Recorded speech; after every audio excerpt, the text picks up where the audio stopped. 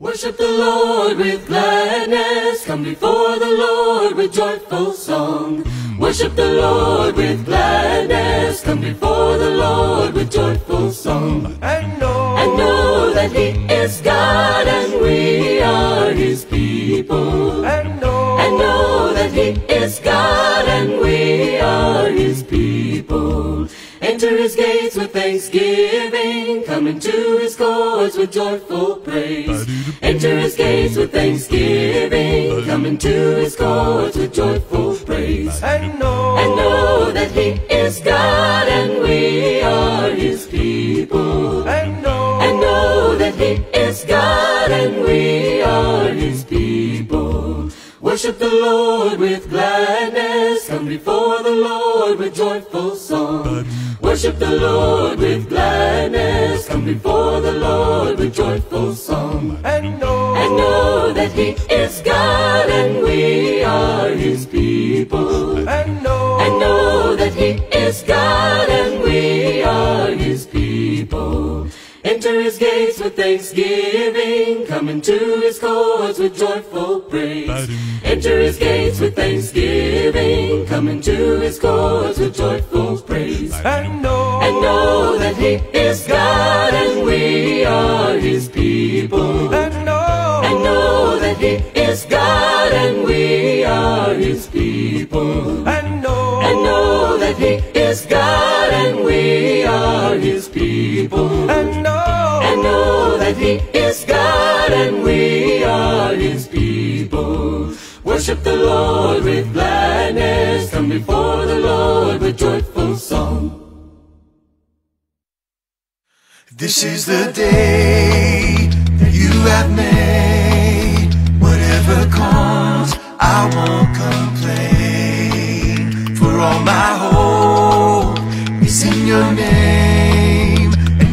joy awaits my praise.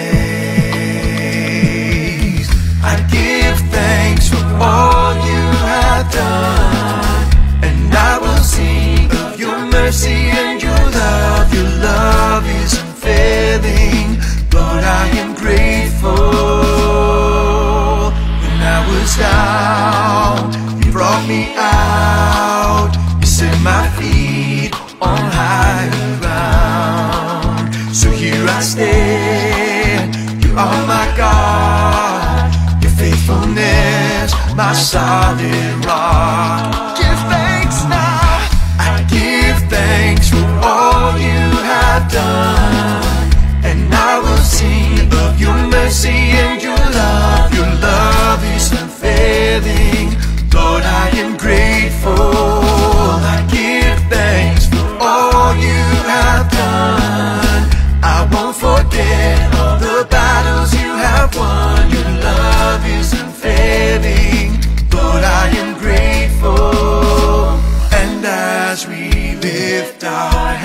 the heavens open, heavens open.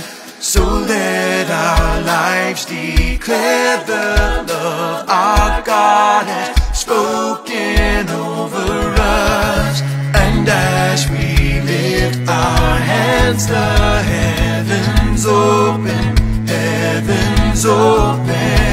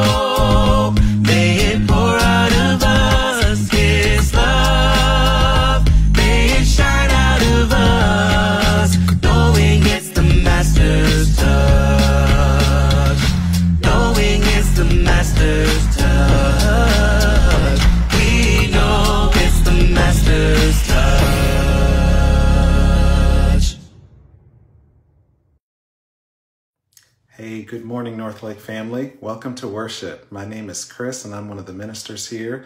Thanks so much for joining us for worship today. And here's wishing a happy Valentine's Day to you, my dearly beloved church family. Much love to everyone. So go on and show your church family some love down in the comments and say hello to everybody. And go ahead and let us know if there's anything you'd like us to be praying about as well, either in the comments below or by texting, emailing, or calling up one of our ministers or elders. So this morning we'll share in a prayer for the family, led by our children's minister, Crystal O'Neill, along with Sharon Z, Abby Warren, and Doris Graham.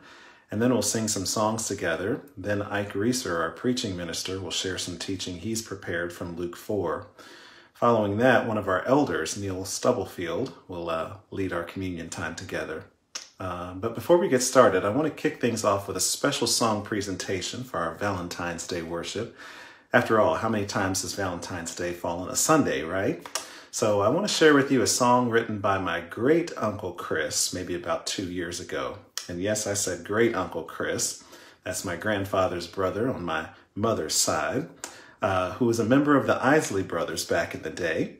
Yep, that's right. It's true. I'm related to the Isley Brothers, and uh, one of the songs you're um, likely most familiar with is their 1959 song "Shout." You know, the, you know, you make me want to shout, kick my heels up and throw my hands up and, you know, you know how it goes. Well, uh, anyway, uh, my great uncle Chris is uh, responsible for writing and producing much of their uh, music, primarily in the 70s and 80s, and had a really fun music career and uh, studied music composition in New York City after graduating high school and uh, our hometown of Cincinnati. and uh, his older sister, uh, my aunt Elaine, uh, married one of the other Isley brothers as well, uh, Uncle Rudolph. So uh, the connections with the Isley brothers are deep in our family. And uh, if you're an R&B fan, uh, you'll likely be, be, familiar with some of the uh, their other music from the 70s and 80s also. Um, anyway, Uncle Chris has been producing solo for the past several years now out of his beautiful home in Westchester County, New York. And uh, the lyrics to this song I want to share with you this morning seems perfectly fitting to kick off our Valentine's Day worship today, and it's called Show Somebody Love. So, uh, anyway, I hope you enjoyed that story, and thank you again so much for joining us for worship this morning. And uh, let's all do everything we can to show somebody love today and every day. So, let's take a listen.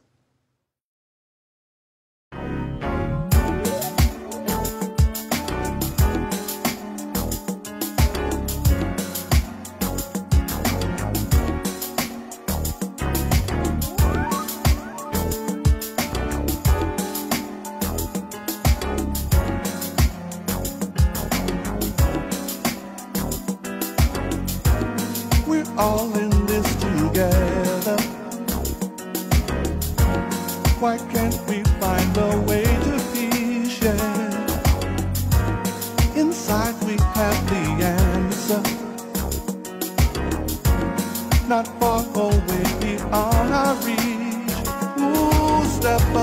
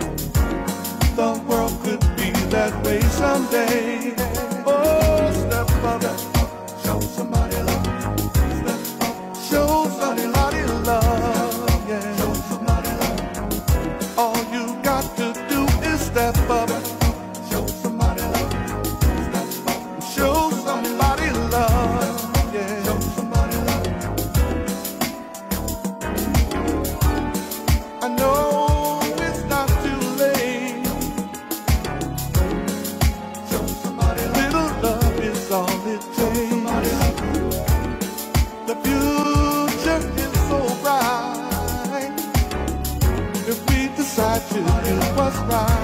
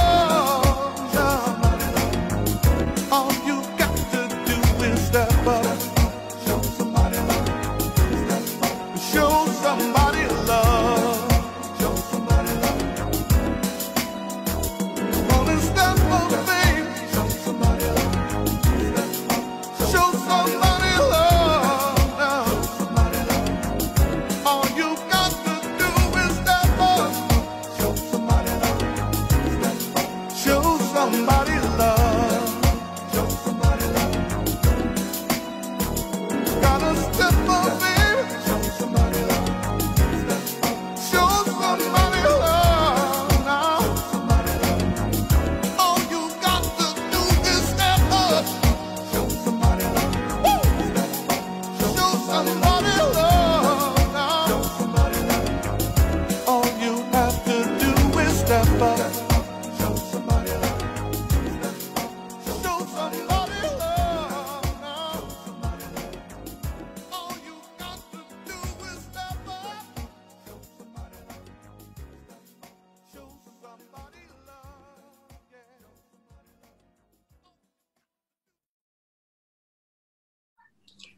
Hi, Northlake Church community. I'm Crystal O'Neill. I'm the children's minister uh, here at Northlake Church of Christ. And to, today with me, I have um, Abby Warren that works with me. And I also have Doris Graham and Sharon Z. And uh, the four of us have been leading um, our online Bible classes that have been going on with our children uh, during this time of physical separation and also our in person gatherings. And uh, we, we wanted to take some time today to um, lead a special prayer for our families and our children. So please pray with me.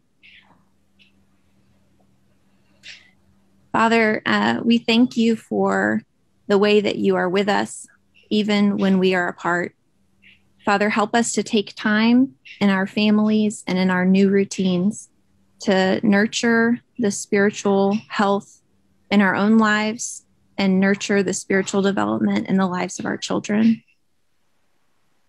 Lord, we thank you for this uh, way that we can meet and pray together um, through Zoom, but still be together one in spirit.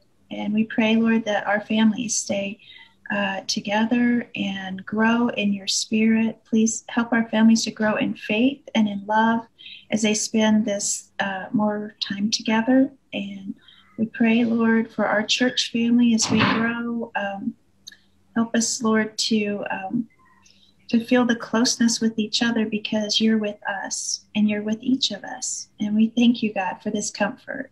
We pray, Lord, for um, our communities. We pray, Lord, for the community around each one of us and help us, Lord, to uh, be sensitive to uh, our neighbors and um, the needs of others and and to just be drawn to to um, be a friend to those who need a friend in this time.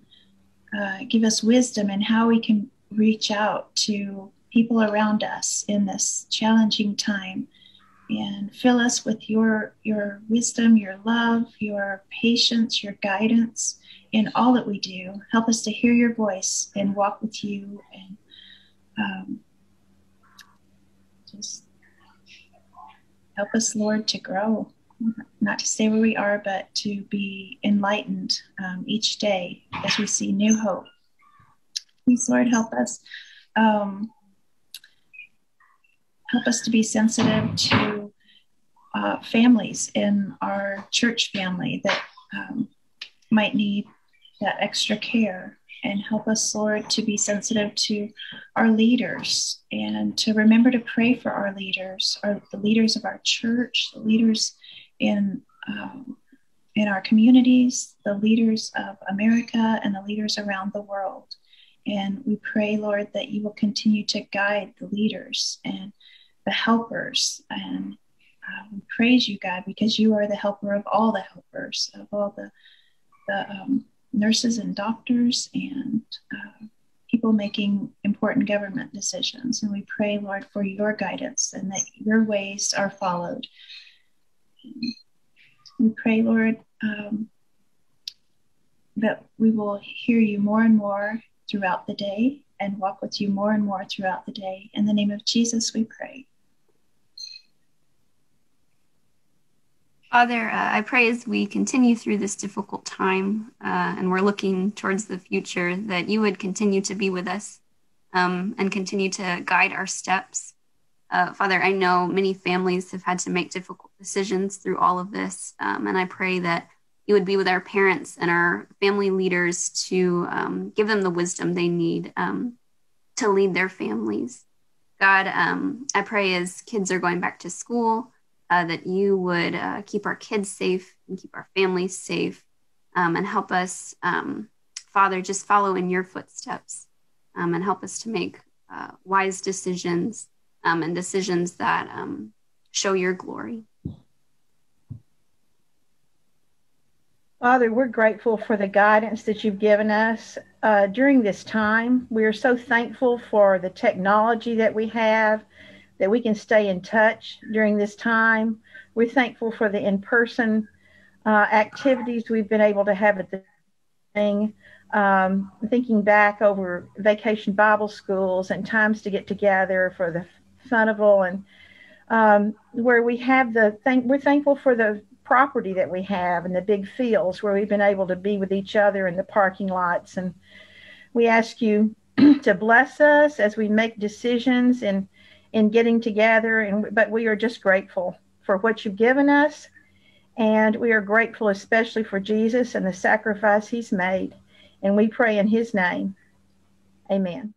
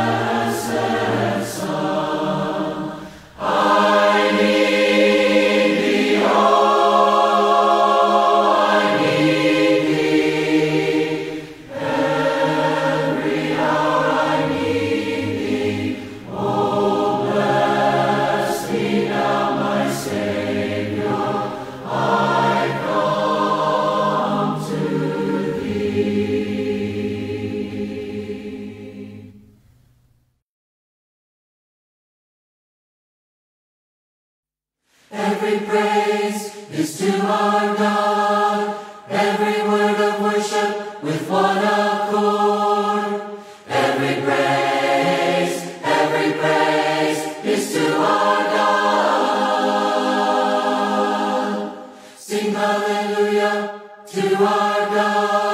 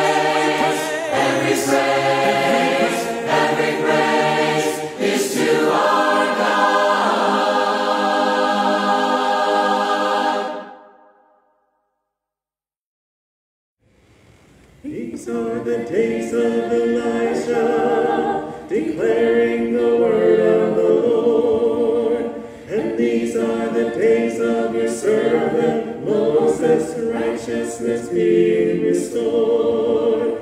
And now these are days of great trials, of famine and darkness and sorrow. Soon we are the voice in the desert, crying,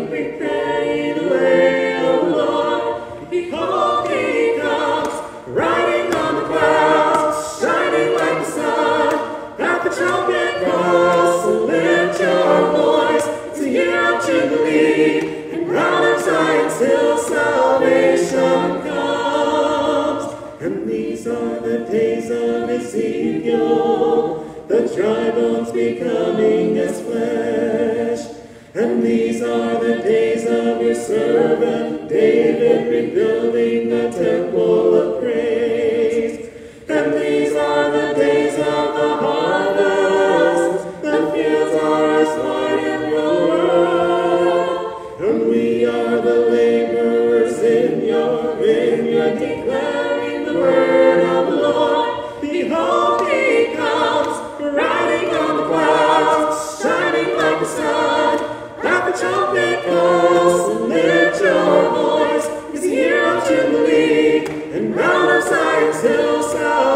salvation comes. Behold, he comes, riding on the clouds, shining like the sun. At the trumpet calls, lift your voice. It's a year of jubilee, and round of Zion's hill salvation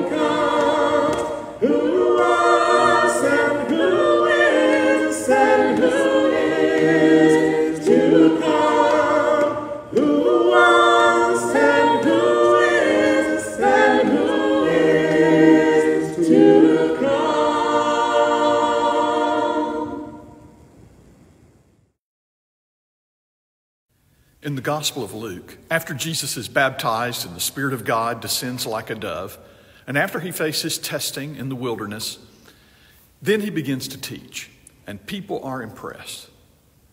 Jesus soon schedules a visit to his hometown of Nazareth, and this is found in Luke chapter 4. Now, why does he go to Nazareth? Well, think about it. When a politician's ready to formally announce the beginning of their political campaign, where do they usually go to make the announcement?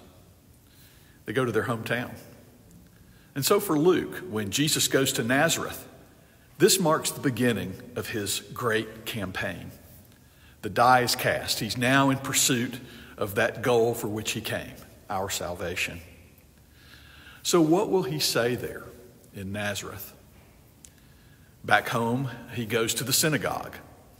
And on the Sabbath day, he stands to read Scripture, like he must have done many times through the years. And I imagine a woman nudging her husband, You know, I taught him when he was in the third grade. Well, Jesus takes the scroll of the prophet Isaiah and he unwinds this huge scroll. And there are no chapter or verse markings, and all the words are crammed together. But Jesus knew right where he wanted to go, and he found the place, and he began to read.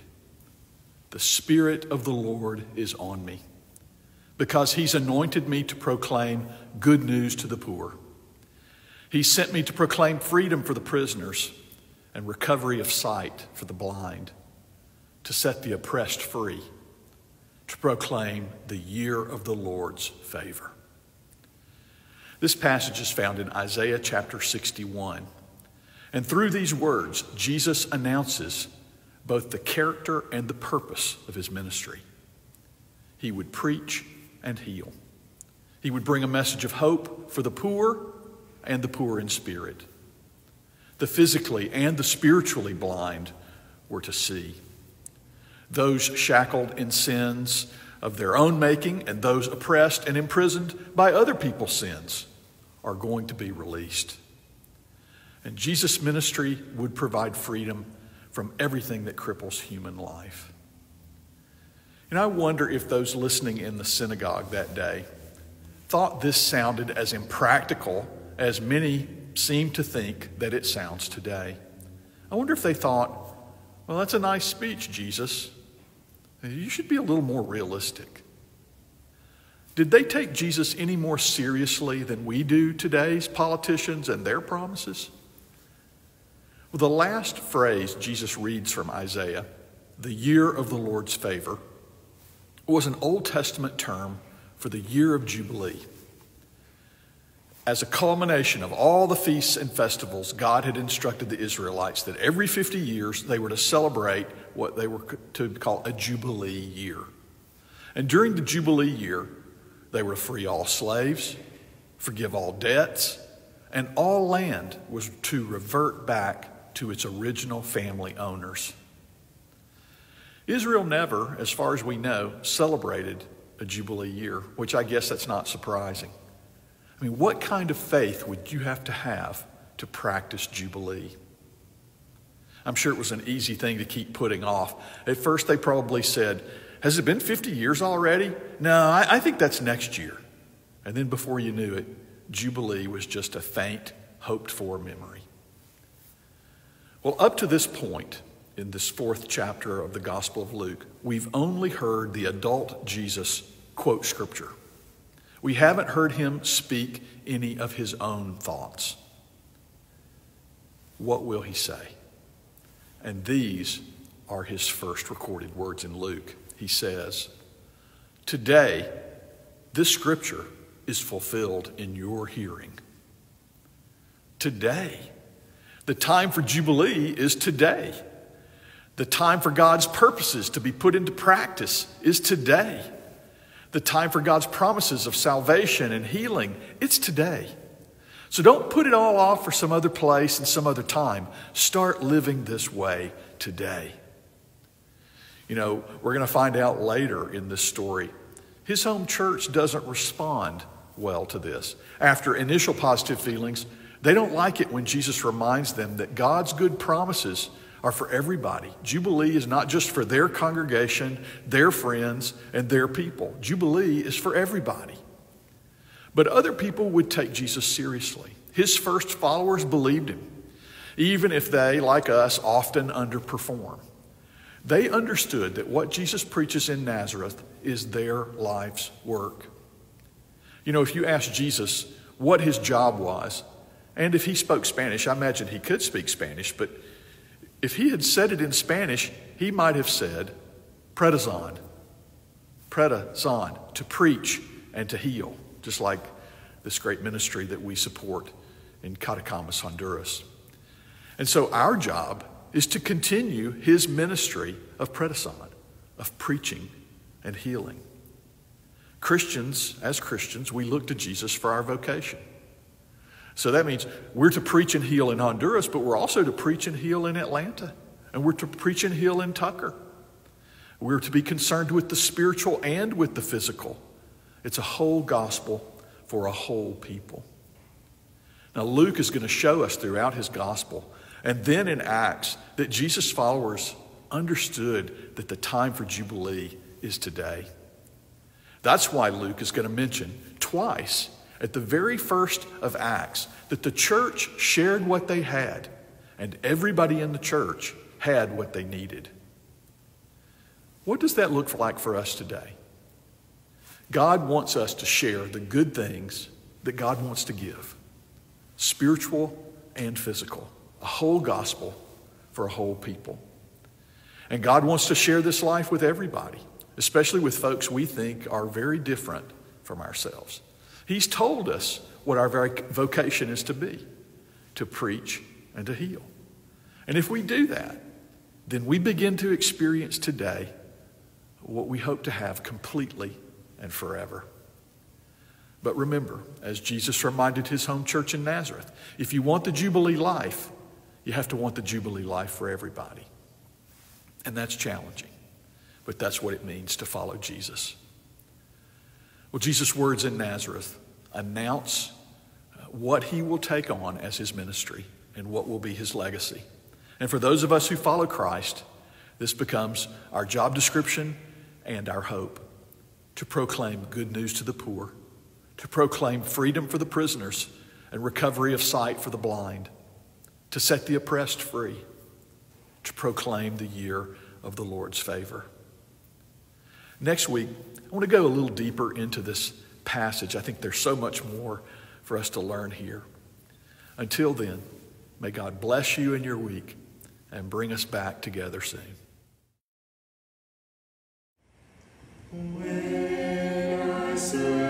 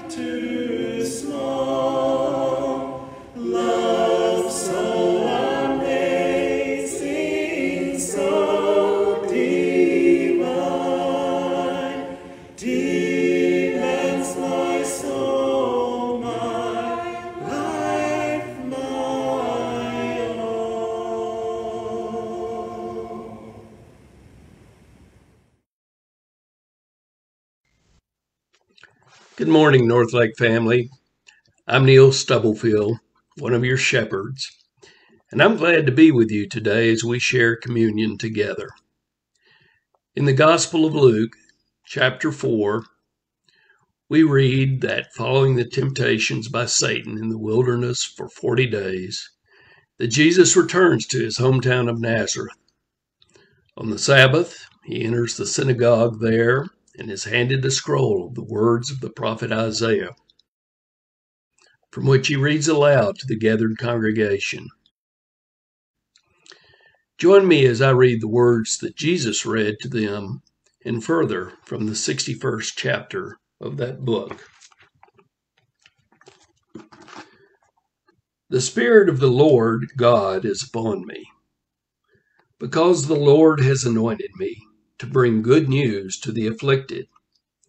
He has sent me to bind up the brokenhearted, to proclaim liberty to captives and freedom to prisoners, to proclaim the favorable year of the Lord and the day of vengeance of our God, to comfort all who mourn, to grant those who mourn in Zion, giving them a garland instead of ashes, the oil of gladness instead of mourning, the mantle of praise instead of a spirit of fainting. So they will be called oaks of righteousness, the planting of the Lord, that he may be glorified. Jesus reveals to his listeners that he is the one the prophet refers to, and that Isaiah's words, written nearly 700 years before, are now being fulfilled in him. What wonderful news for them and for us today that Jesus is the one promised, the one who completed God's plan to redeem us back to Him. It's His Son atoning sacrifice, the sacrifice on the cross that we celebrate with millions of Christians around the world today. Join me now in prayer. Father, thank you for being in our midst this morning. As we repeat what Jesus instructed his disciples, do this in remembrance of me. May our hearts blend as one with all those who take this bread and this cup today as we celebrate the good news foretold by the prophets of the coming of Christ, his life, his death, and his resurrection that leads us back to joyful eternal life with you. In his name, amen. The bread, his body broken for our iniquities.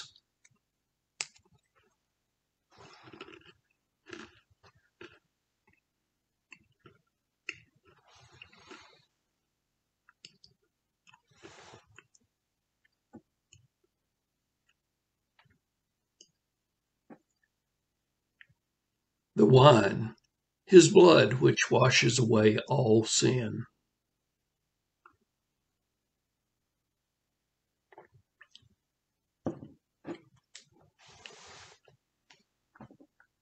Thank you for joining me in this Lord's Supper. Have a blessed week.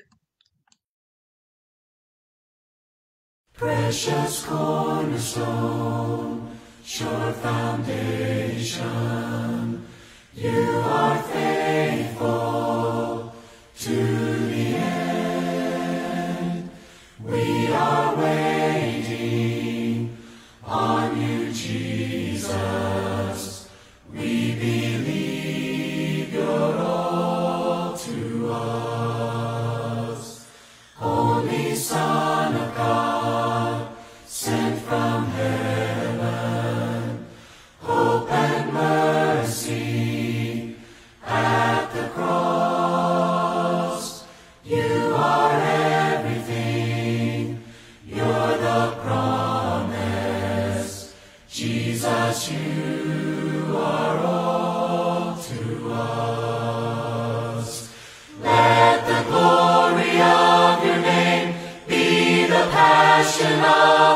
Church.